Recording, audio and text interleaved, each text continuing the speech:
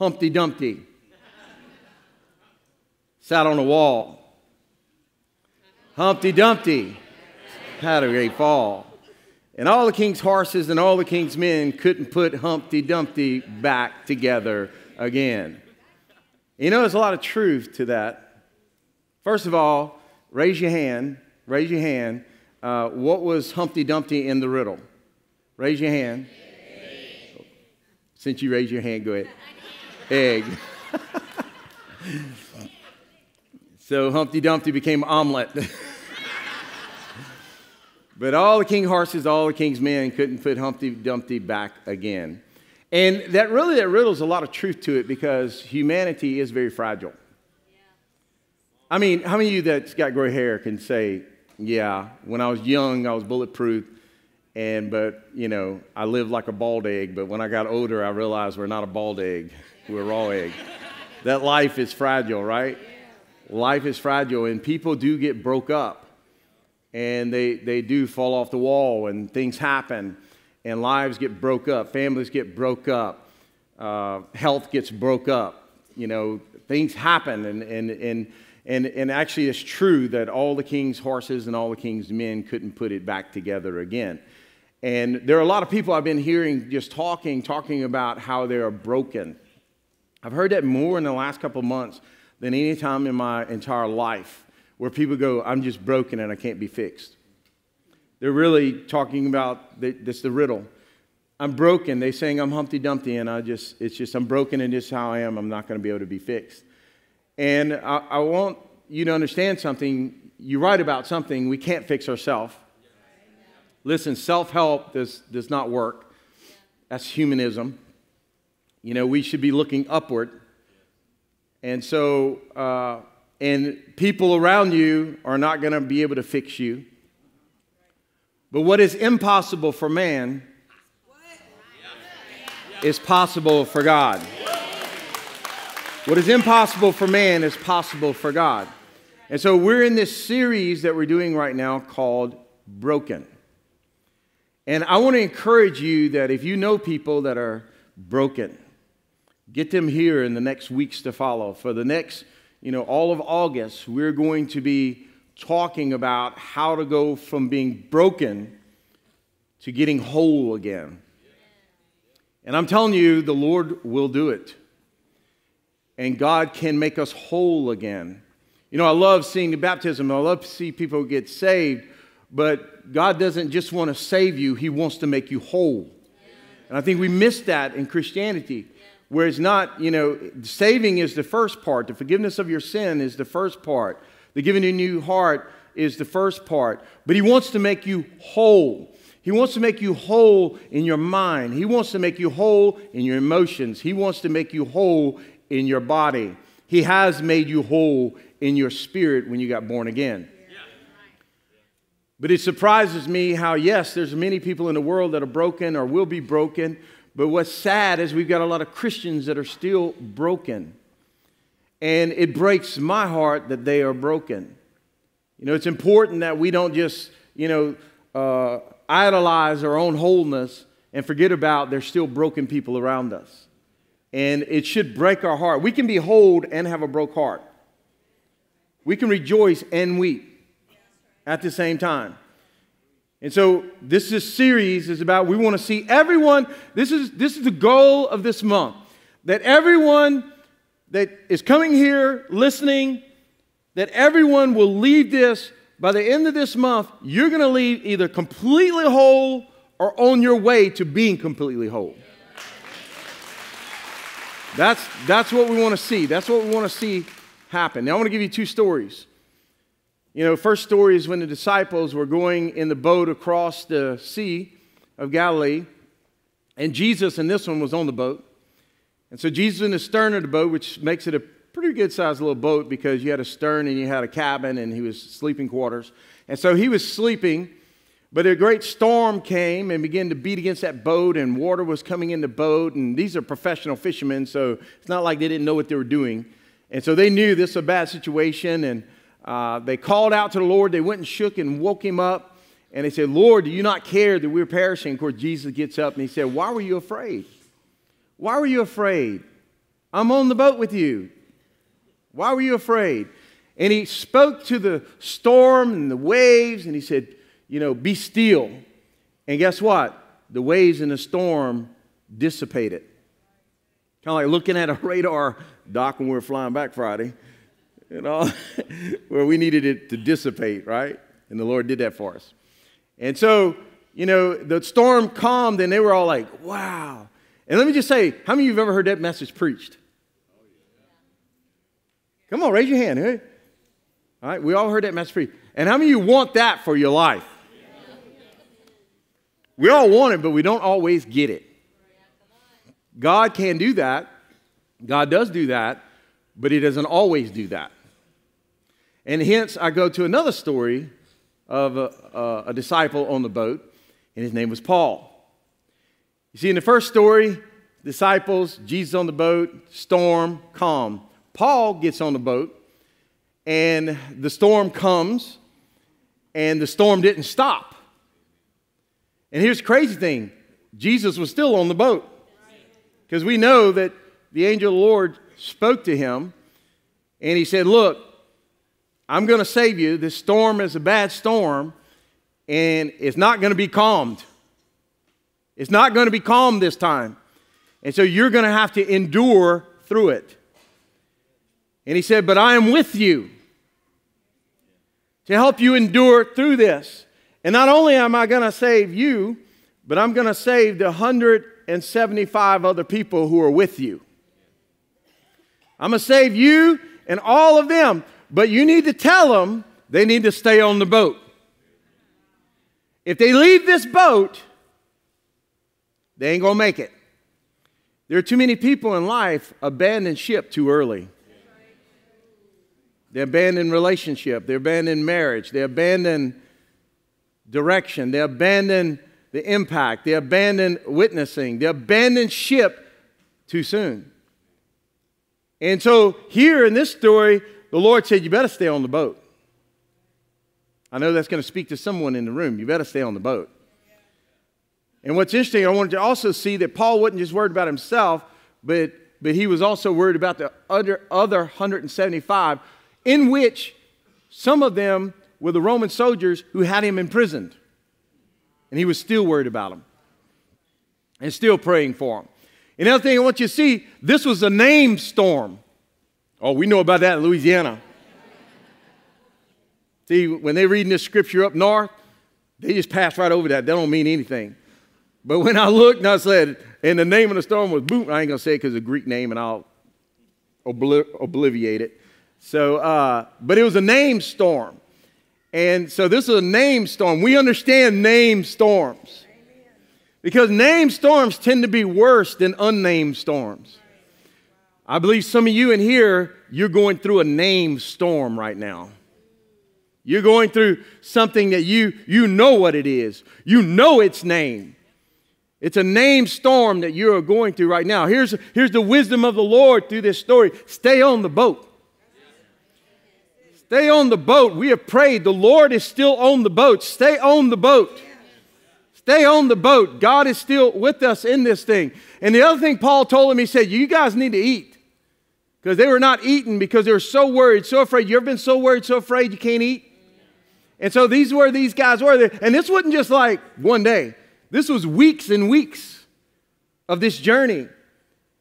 And so he said, You need to strengthen yourself. And one of the things you got to do when you're in a long storm, come on, we know this in Louisiana, you stock up. You stock up. Come on, you get them potato chips. You got to get the essentials potato chips, coffee, little Debbie's, lunch meat, bread. Come on, some Dave's bread. If you want to eat good bread, eat Dave's bread. You ought to send me, Dave, like 10 loaves for just saying that today. Someone sent it to Dave's bread. I just endorsed you because it's that good.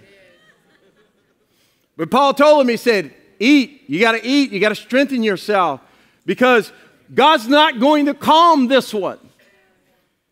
Because I think in Christianity, because we're so focused on, man, I want the quick miracle, that we're not ready for the long enduring one. Where we got to endure through. We got to endure through the storm. The storm's not going to be calmed. For some of you, I'm telling you right now, don't look for the quick fix, but you're going to make it. Here's what I want to tell you if you stay on the boat, you're going to make it. Strengthen yourself. You're going to make it. You're going to get through this thing. And there's no great, it's no different of a miracle. One miracle calms it, the other miracle gives you strength to get through it. And honestly, if you're having to get through it, the Lord's actually doing something else on top of it. He's strengthening your faith. And you'll be stronger when you come out on the other side. But here's the thing here's the thing. He said, okay. And after weeks and weeks of this going on, he said, okay, this is about, we're about to, you know, get to a place where this ship's going to wreck. And this is what all you need to do. Those of you who can swim, swim. If you can't swim, you see these planks? when it breaks up, you better grab one. And you see these things that are floating around? You see that old box over there? Uh, lady, you better grab that one because we need to swim if we're going to make it. See, there's a part we have to play in all this. It's not just a lazy Christianity where we don't do that's why we call partners with God. That's why the Holy Spirit's called a helper, not a doer. Because there's parts we have to play many times in, in finding that, that, that shore, finding our wholeness, finding our healing, getting to the other side. I, I love that saying you, you work like it depends on you and you pray like it depends on God. And then you have about a balance of faith and responsibility there. But this is what I want to say. Sometimes it's a calming of the storm, other times it's enduring through the storm. I want to show you great testimony of a precious couple in our church, Ben and Katie, where they had to endure. Check this out. Hey guys, uh, I'm here with Ben and Katie, and I know, you know, I just talked about those two stories where, man, we want to have the the miracle of the storm being stopped, but sometimes in life, the storm is not stopped. You have to go through the storm. And I'm here with Ben and Katie to talk about that with little Judah. I know all of you have been praying uh, for this family. And man, you guys are such a precious family. We love you guys. Y'all want to say anything to the church? All the prayers that have been going up for little Judah and you guys? Yeah, we definitely appreciate all the prayers that y'all have said. Uh, you know, we, we've had a lot of support between uh, y'all at the church and family and friends, and we're just thankful and grateful for all the prayers that y'all have sent out. And you know, just kind of give you some feedback uh, and maybe a little backstory for some of you that don't know. Uh, you know, Katie, when you had little Judah, it was how many weeks? 24 weeks, four days. So 24 weeks and four days. You got yes. it exactly right. and so little Judah weighed how much? He weighed 1.8 pounds. So 1.8 pounds. And, you know, it'd have been nice if, you know, we just prayed and you went full term and everything was good. Uh, but it didn't happen that way, did it? No. Nope. You guys have had to go through a process. How many months has it been with you guys taking care of Judah back and forth to hospital? I mean, how many months has it been? So it's been about five months. About five and a half. About five almost, and a half. Yeah. yeah, it'll be it'll be six months uh, next month on the 19th. And and just to let y'all know, y'all just got him home not long ago. Yeah, yeah, he's been home for about five or six weeks. Yeah, five or six weeks. So that meant I mean, you had to be at the hospital and going to the hospital and coming back and traveling and all the finance and the struggle and and I know for you guys, you know, going through this was not fun. You didn't ask for it. And I'm sure you you asked many times for God to come on, you know, God just bring us through this.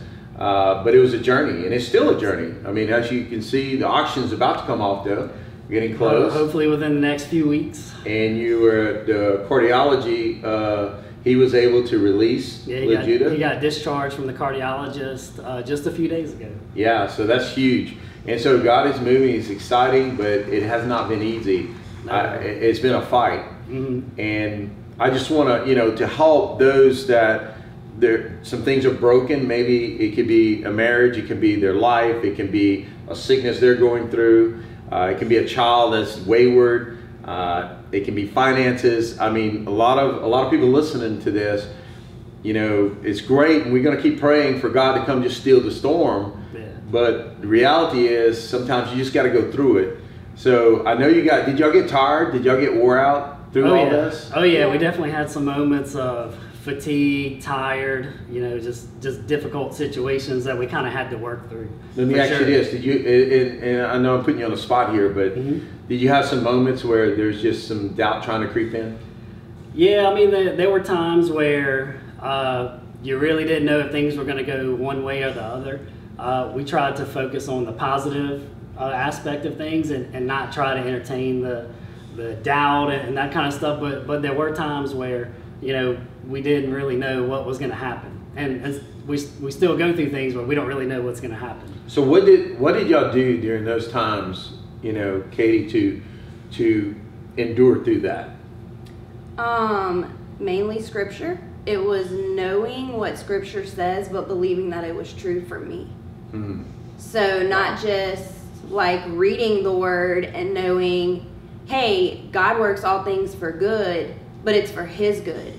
So even though I may get bad news this day, even if the Lord, like I had to come to the place where I was like, even if the Lord takes Judah, Mm. like I have to be okay with that, and he's still good. Wow. Whew. Making me tear up. you know, how did you guys just, you know, at, at times, how important was people encouraging you at the right time? That that was huge. Like early on, whenever Judah was kind of in the like really acute stage where you didn't really know which way this thing was going to go, uh, we leaned real heavily on our friends, uh, family, others. I, don't really know how we could have gotten through this thing without having others to lean on. Uh, yeah, a, a lot. We, So it was, you know, faith in God, trusting God, standing on scriptures. We, we talked about the other day, it was a really bad situation where some levels were messed up. He was going to New Orleans, Judah's going to New Orleans, and, yeah. and it didn't, it looked not positive. Oh yeah. And the Lord just actually gave you the scripture for that moment. He Mhm. said, I'm going to do something. I'm going to get you through this quickly. Yeah. Yeah, it was whenever uh, Judah, he was having some swelling on his brain, and we were praying for it to go down, but it kept going up. And uh, it got to the point where they had to, you know, put him in a helicopter and fly him to New Orleans uh, so he could see a neurosurgeon. And uh, I remember that morning getting up before heading to New Orleans. We didn't know if he was going to have emergency brain surgery that day or, or what. Uh, just you know, picturing the wind and ra- waves and the storm and everything going on, and just thinking of Jesus being in the boat, you know, just sitting there with complete peace, and uh, and just kind of looking at me and reassuring me, hey, look, I'm here with you. Uh, I'm going to take you through this situation. Like I'm going to carry you and your family, and uh, and everything's going to be okay no matter what it looks like. And, Mhm. and we didn't know what it was going to look like at that time for sure.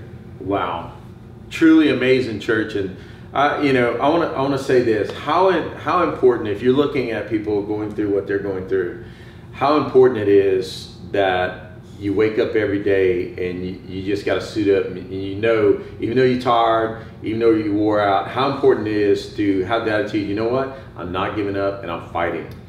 It's, it's very important. Uh, th- there were scriptures that I really held on to throughout this whole situation. It was uh, Psalm 139. And uh, I would get up every single morning, read the entire chapter, meditate on it. And it, it really got me through, you know, the, the first few weeks where you, it really wasn't looking good. Uh, but got up, read it, believed it, and uh, and it really got me through. And, and as things progressed, you know, I found different scripture to, to read. I would text Katie uh, different things. So yeah, I mean, it's definitely a battle that you have to suit up for, and and, and not have a you know, why is this happening to me attitude all the time. Like you've got to, you know, go on the attack, I guess, and, and have some things, uh, you know, that you can you can read that encourage you. Amen. Well, we as a church appreciate you guys so much.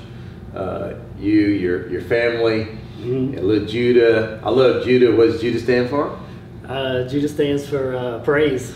Praise. Praise. And so, what a name. You know, mm-hmm. sometimes when you go through things and it's bad, you know the best thing you can do? You praise. start praising God. Praise. And I know when I, I walked in the house, uh, I was I was like, wow, before we just filmed, uh, they had praise and worship on always. on the TV. And is it always on? Always. Does that help you guys? Oh, absolutely. Yeah, it just it just tries to bring peace, calm. Uh, you know, with uh, a crazy house, we got well. At one point, we had three under three. Now it's uh, newly three. Newly three. So it gets a little crazy. So uh, yeah, the worship definitely helps to bring a spirit of peace and calmness. And uh, so Judah, so Judah's going to be on the worship team, right?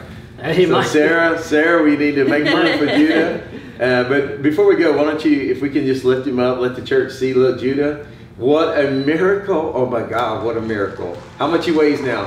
He is almost ten pounds. Almost ten pounds. Church, can you just just give the Lord a hand clap? Come on, just give the Lord a hand clap. Give this couple a hand clap. What an amazing, amazing uh, testimony it is that you guys wake up, you fight, you didn't lose faith, you didn't lose hope, and little Judah is a miracle. Yeah. And we just thank God for y'all. And guess what? It's not just for you. It's for anyone who's willing everyone. to fight for it. It's for everyone. Amen. Well, thank you, church. God bless you. Wow. Isn't that amazing? That's amazing. Wow. You know, uh, uh, the quote up there the will to fight for your healing and wholeness is important when you're broken. I, I want to talk about this for a second. All right. You got to be, when I begin to pray about this whole series, Broken, and I begin to meditate and ask the Holy Spirit to just, you know, bring me what He wanted to bring me, uh, the first thing he, he told me, he says, if they do not have a will to fight, there's little that He is able to do. The first thing you have to do is you got to be willing to fight. I mean, come on, we know this in the medical field that someone who doesn't have a will to live and something little happens to them, but they just have no will to live, the doctors can't save them, even though the doctors could save them in, in those scenarios. Uh, they're not because they have such a weak will to live. So they have no fight in them. But then you have other people we know in the medical field that everything that happened to them and all the injuries and everything, they should not make it. But because they just won't quit, they just keep fighting. They refuse to give up. Mr. Roy, I was thinking about you about this. You know, you've had cancer twice, and every time he says, I'm just going to keep fighting. I'm not, I'm not going to give into it. I'm going to keep fighting. And we have to find that will to fight. And, and the Lord will use that to bring about your wholeness. The, the problem is, and, and today we, we end up, you know, fighting the wrong thing, or we don't fight at all because we have lost the grit of Christianity. It's the same way, this whole idea of, uh, uh, taking away the masculinity of men in our society where there's no fight in men anymore, trying to get that out of them. And that's nowhere you see that in Scripture. I mean, these were, these were, these Christians, even when you look at Christians' walks and men of the Bible, I mean, they were, they were, they had a fight in them. And so the same way they're doing that, they're also doing it in Christianity, where they're taking the grit out of Christianity and, and even, you know, everything is moved to I'm a victim instead of I'm a victor. And when you have a victim attitude, let me tell you something, you're going to stay in your brokenness. But you've got to get up and say, you know what? I mean, no different than if someone came, uh, attacked me, I'm just going to do nothing. No, I'm going to fight back. If someone tried to attack your children, would you do something or you just sit there and look? No, you're going to fight back. You're going to fight back. It was on Fox News. I was looking this morning. This guy, uh, some guy was uh, beating up and, and attacking some people, and a lot of people were just passing it up, wouldn't do nothing. This guy went in. He was an MMA fighter, and he went in in 30 seconds. He had the guy down and he had it taken care of, and he was holding him down, videoing uh, the whole thing. And uh, just, you know, because he was willing to fight, he stopped the attack. You know, the devil, if he's fighting and getting no resistance, why wouldn't he keep fighting? But if he's fighting and you get up in your spirit, I love that song. God, come on, soul, get up. And you get up in your spirit and you begin to fight him back. Guess what? He's going to think twice about coming after you. Come on, he's going to think twice about coming after your family, your children, your marriage, your children. Listen, we've got to have, we've got to get back the fight of Christianity, the, the grit of Christianity. Instead of walking around with a victim mentality. And look, for, for some, they're in that, and I'm just encouraging you, God doesn't want you to, to be the victim mentality. Sometimes you are a victim, but you don't stay a victim, you get back up. And you become a victor. God wants to be a, victor. It's important for us to understand this. Listen, fight for your life and fight for the lives of those around you. This is what we're called to do. And, and that's why in the Bible it talks about the armor of God. He says, when you wake up, put on pajamas. When you wake up, put on play clothes. When you wake up, put on shackles. No, he said, when you wake up, put on the armor of God. This idea of, you know, I'm just a victim. Well, quit being the victim, put on the armor of God and fight back. Fight back. Fight back. How you start? The helmet of salvation. First thing we got to realize wait a second, I am a child of God. God has not given me a spirit of fear, but of power and of love and of sound mind. I am a child of the King. I have been forgiven. I have been empowered. I'm not fighting alone. Greater is He that is in me than He that is in the world. I'm going to get up and I'm going to fight because I have the power of God in me to win. And then you put on the belt of truth. Let me, let me, see, we say these things, but we don't, we don't, I don't think grasp them sometimes. Okay, here's a belt of truth for you. My body was bought just like my soul and my body belongs to God. So I need to do what it takes to know the truth about what it takes to be healthy. So I'm going to study what it means to be healthy. I'm going to look through the scriptures and see that you got to have a day's rest and you can't just be going for seven days. I'm even look at there's dietary laws, and the dietary laws are for a reason, so that the people can be healthier than all other people. They got cleanliness laws that were there, and that was so the Jews during the uh, bubonic plague did not catch it because of their cleanliness of following what God said to do. And I'm not saying we're going back under the laws. What I'm saying is you learn from the principles of those laws and what God was saying. And so I find out the truth of what my body needs. I study it. I look. I understand that. Guess what? Going outside is very healing. So I've looked at studies. I'm talking about truth, and I found the truth that if you want to be healthier, you need to walk and be outside at least 30 minutes a day. I found the truth that if you're not exerting yourself, you need to work out so that your body can keep itself up because it was designed that way. And because I know the truth of all that, I am going to be able to swim hard for my healing and my wholeness. That's just one area. And it's just real short, real small, bam, right there.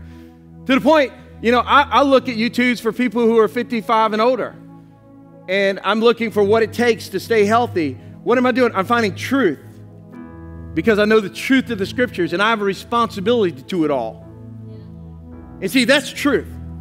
And so, but then, then you shod your feet with the preparation of the gospel. You see, a lot of times people, when, they, when they're in the storms, they're only, they, they turn real self centered. And I say this respectfully and lovingly, but it's all about them, except when I've seen Christians, even when they were in the hospital, even when something bad was going on, they were like, man, I witnessed to three nurses and one doctor and three families that came in. Come on, you know what I'm saying? I, man, this is my chance to be a witness the people to see me suffer in Christ. Uh, this is my chance. Jesus suffered so that others be saved. May in my suffering, may someone else be touched, Lord. And because you keep purpose, see, when you lose purpose, you, you're going to go down mentally, you're going to go down emotionally. But when you have purpose and you suit up with that purpose every day, and you put on the breastplate of righteousness, meaning the righteous acts that God will use you to do. How does people get their healing? Like when they go through even loss, is they make their mission then of helping people who are in that same situation, and by helping others, their healing comes to them. Come on, we know this. We know this. It's not a it's not a victim mentality. It's a standing up and saying enough is enough, and I'm going to do something about it. I'm going to do something about it. And then you put the shield of faith because you're going to get hit. We're all going to get shot at. But you know what? We have faith to pull up that shield and block the fiery arrows that the devil is throwing at us. That's why your faith is so important. You got to keep faith in God. Faith means I'm going to trust Him. Like Katie said, I'm going to believe this scripture is for me. Not that it's just a scripture of God's word, but it's for me. And I'm going to stand on it because when I'm standing on the rock, no wind, no storm, no waves, none of it can knock me down because I'm standing on the rock of Jesus Christ. Come on, someone. And I pulled out my sword and I began to wield it and quote the word of the Lord. I begin to quote the word of the Lord. I am healed. I am whole. I am a child of God. You have no hold on me. I am a servant of the Most High God. God, this is what I'm talking about. This is what I'm talking about. Come on, stand to your feet. Stand to your feet. Come on, give the Lord a hand clap. This is what I'm talking about. Yes, Lord. Yes, Lord. Come on, the holy anointing of God in this place. Come on, no one moving, no one going anywhere. Listen, God's about to do something so amazing in this place. 1 Timothy 6:12 says, "Fight the good fight of faith." You see this whole idea that you being you're being fed, that you're a victim, and you know that God's not enough. Someone the other day they actually said, "Don't go to Pastor Mark because all he's going to give you is God." I'm like, yes, yes. Let me tell you something. Fight the good fight of faith. Take hold of eternal life. Let me just say one thing. I'm going to say one thing. Pastor Terry, you and I were talking about this. You know why your flesh doesn't want to do what it takes for eternity? Because it has, it has no incentive to do so. Because your flesh is not going to eternity. Flesh and blood will not inherit the kingdom of God. So, because your flesh is not going there, it doesn't want you to do anything that's concerned with there. But we are not just flesh and blood, we are spirit. And our spirits will rise up and fight. I love that. And it says, and for which you have made good confession in the presence of many witnesses. Let me tell you something, guys. We got to fight. You got to fight. Listen, this whole idea that, you know, it's a welfare Christianity where it just, you know, it's given to you, you don't have to do anything. That's hogwash. We know that the children of Israel, when they came out of Egypt, the Lord looked at the promised land and said, It's all yours right there. It's yours. I gave it to you. Go ahead. And they looked and they said, Wait a minute, uh, it's occupied. And there's giants. And they had 10 of the spies say, Oh, we can't go do that. These are giants. They're bigger than us. But you had your Joshua and Caleb. Yeah. They said, Yeah, they're giants, but our God is bigger than that. And you see, the whole idea was God said, Here it is, but you got to fight for it. Come on, anyone knows this. If you want a great marriage, you're going to have to fight for it. If you want your children to be raised up and be impactors in this world that we live today, we're going to have to fight. If you want if you want freedom, you're going to have to fight for it. If you want to not live in sin, you're going to have to fight for it. Come on, if our church is going to survive and impact the world, we are going to have to fight for it. If we're going to turn around this country, we're going to have to fight for it. Can I get an amen? In the same way, whatever storm you're in right now, you need to learn to start fighting. You know, one of the places we fight is on our knees. Who right now you're in a storm? Oh, uh, regardless of what the storm is, raise your hand, raise your hand, raise your hand, all over this place, all over this place. Guess what? We're about to fight. We're about to fight. Those of you got your hands raised, you, I want to encourage you. You're going to get through this storm. You are victors in the, in the name of Jesus. Come on, if you raise your hand, I want you to get down here to this altar. We're going to begin to sing. We're going to begin to press in. I need my pastors. I need my leaders. Come on, we're going to crowd to God. If you're out in the uh, congregation, begin to lift your hands. Come on, the presence of Jesus. Come, presence of Jesus. Come, presence of Jesus. Come on, you get here, fight. Come on, fight. Come on, fight. Call out to him, fight fight. Come on, fight.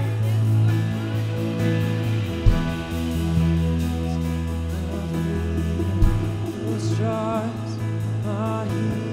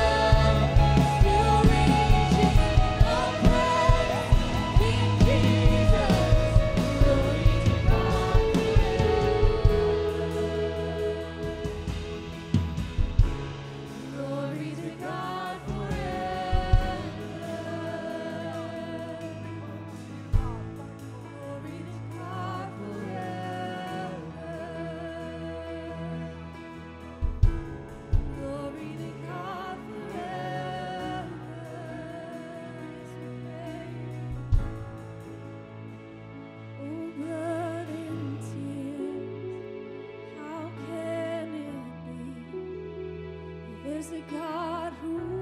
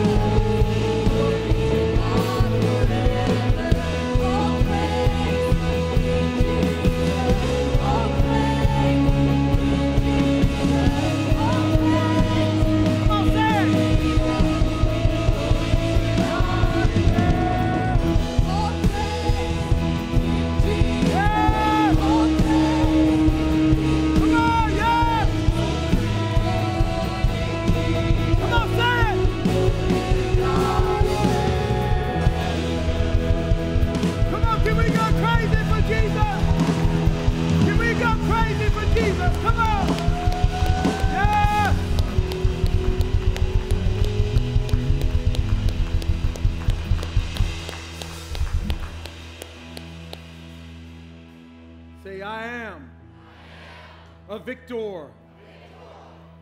I refuse to be a victim. Greater is He who is in me than he who is in the world. Bless your people, Almighty God. We rise up as a people. We awaken from sleep.